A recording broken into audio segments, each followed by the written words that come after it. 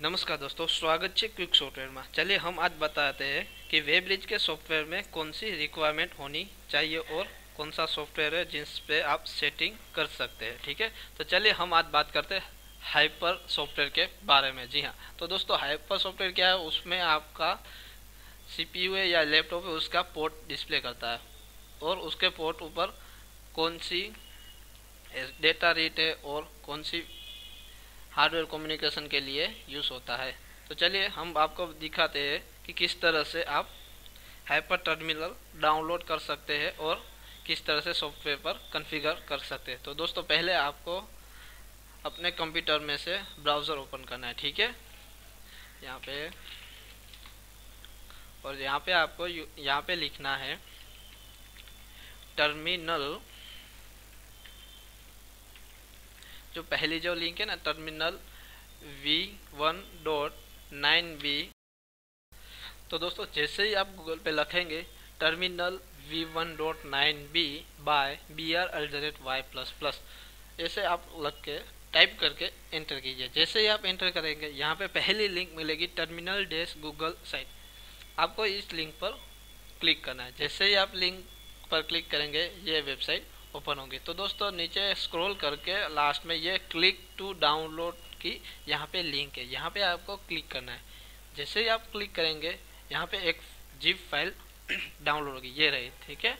यहाँ पे डाउनलोड हो रही। है यहाँ पे आप सोल करके डाउनलोड देख सकते हैं। जैसे ही आप यहाँ पे ओपन करेंगे, यहाँ पे है टर्मिनल ठीक है? यहाँ पे शो इन फोल्डर जैसे ही आप शो इन फोल्डर करेंगे, यहाँ पे ये जी फ़ाइल आपको यहाँ पे फ़र्स्ट ऑफ़ ऑल एक्सट्रैक्ट करनी है। तो यहाँ पे राइट क्लिक करके एक्सट्रैक्ट फ़ाइल कीजिए।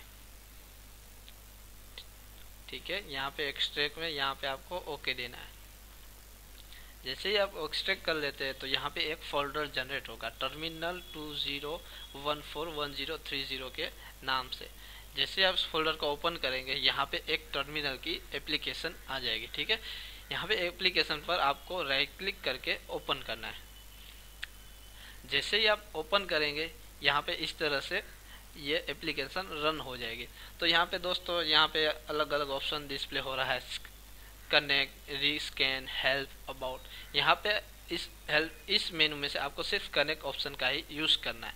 और यहाँ पे दिखा रहा है कॉम्पोर्ट तो यहाँ पे कॉम्पोर्ट सिलेक्ट करेंगे जैसे तो यहाँ पे अभी इस कंप्यूटर में एक ही कॉम कॉम है, यानी कि कॉम वन और आपके लैपटॉप या डेस्कटॉप में यहाँ पे ऑप्शन आ जाए कोम वन कोम टू तक कोम टू करके ये यहाँ पे डिस्प्ले हो जाएगा। और उसके बाद है बोर्ड रेट जी हाँ तो दोस्तों आपको यहाँ पे अलग अलग सेटिंग करके दिखना पड़ेगा, ठीक है? पहले यहाँ पे चौबीस करके यहाँ पे कनेक्ट करने का।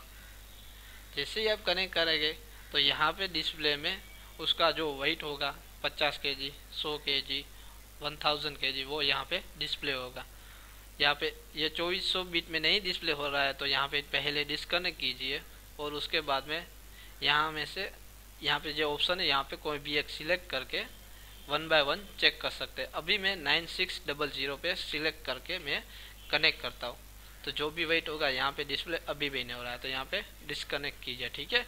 और उसके बाद है डेटा बीट यहाँ पे भी एज रूटीन यहाँ पे आपने सिलेक्ट किए थे ऑप्शन उसी तरह यहाँ पे आपको सिलेक्ट करना है, ओके? एज रूटीन पेरिटी है, वहाँ पे आपको चेक करना है।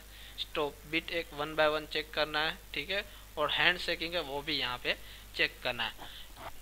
यहाँ पे चेक करने के बाद आप यहाँ पे कनेक्ट करेंगे। जैसे यहाँ पे आपको वेट दिखेगा, यानी कि 50 के जी सौ के जी यहाँ पे वेट दिखे, उस वेट को एज इट इज़ रखना है। और यहाँ पे जो भी सेटिंग होगी, अभी सपोज़ मैं देखता हूँ तो कि हमारा कॉम कौन सा है? तो कि कॉम वन और बोर्ड रेट यानी कि बीट रेट कौन सा है? तो नाइन सिक्स डबल ज़ीरो छन्नू सौ, ठीक है? और उसके बाद उसकी डेटा बीट क्या है? तो कि एट और parity none stop bit one ये सारी ऑप्शन आपको याद रखना है। या फिर आप इसका एक फ़ोटो लीजिए, ठीक है?